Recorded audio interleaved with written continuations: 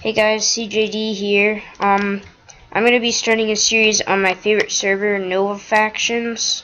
And this is just going to be a little tour of Nova Factions. Um, so let's get started. This is spawn when you start. Um, there's a nice fishing pond and enchanting over here. Down here we have all of the all the rules obey, you have to obey all the rules or you will get banned. Well, obviously. Okay. Um, over here is the portal room, the warps, which will be coming out soon. And over here, you have the donation info for all the ranks that you can buy for this awesome server with real money. So, okay. Um, uh, over this little bridge, we have repairing over here. The anvils need to be replaced.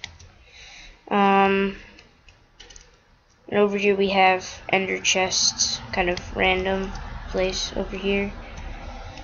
Anyway, so Warp Wild is where you get out of spawn and you can make your faction, start a base, anything like that. It's also a really nice area to PvP in.